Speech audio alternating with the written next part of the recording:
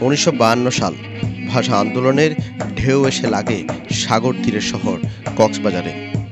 ঢাকায় ছাত্র হত্যার প্রথম খবর কক্সবাজার আসে টেলিফোনে সাবেক মহকুমা প্রশাসক গফরুজ্জামান চৌধুরীর বাসায়। সে টেলিফোনের একটি সংযোগ ছিল তৎকালীন সিএনবির প্রকৌশলী এস আর খানের বাসায়।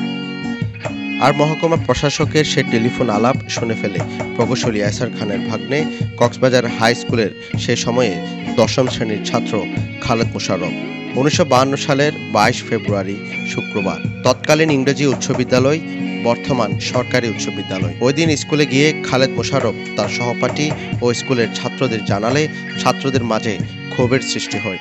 খালেদ মোশারফের সহপাঠী নুরুল হুদা চৌধুরী মৃত্যুর আগে টিটিএনকে দেওয়া সাক্ষাৎকারে সে স্মৃতির কথা জানিয়েছিলেন। তিনি বলেন, খালেদ মোশারফের কাছ থেকে শোনার সাথে সাথে বাইশ ফেব্রুয়ারি ছাত্রদের নিয়ে মিছিল বের করা হয়। পরের দিন বাইশ তারিখ আমরা স্কুলে এসেছি। খালেদ মুশরফ সাহেব স্কুলে এসেছে। খালেদ মুশরফ সাহেব বলল যে, আগে গুলি ছেলেদের উপর। আপনি কি করে জানেন?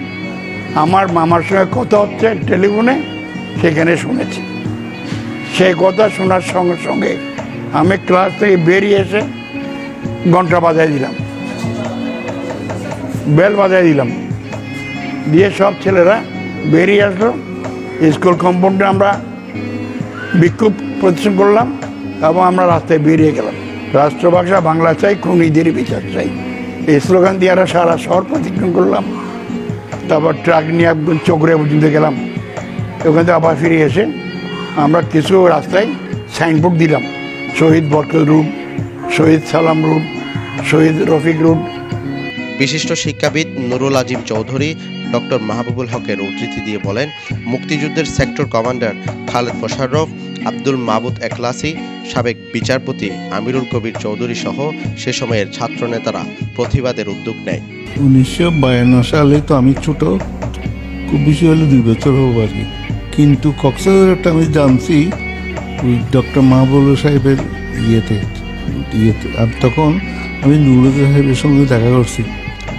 কারণ উনি আমার বড় ভাই আব্দুল মাহবুদ একলাজি সাহেবের ক্লাস ফ্রেন্ড ছিলেন খালেদ মুসহ ক্লাস ফ্রেন্ড ছিলেন খালেদ মোশাররফ উনিশশো সালে কক্সবাজার ইংরেজ উচ্চ বিদ্যালয়ের ছাত্র তিনি। পরবর্তীতে একাত্তরের মহান মুক্তিযুদ্ধের সেক্টর কমান্ডার কেআই ফোর্সের অধিনায়ক এবং স্বাধীনতা উত্তর বাংলাদেশের সেরা প্রধান। তার নেতৃত্বে মূলত কক্সবাজারে শুরু হয় ঢাকাই ছাত্র হত্যার প্রতিবাদ। News desk TTN Cox's Bazar.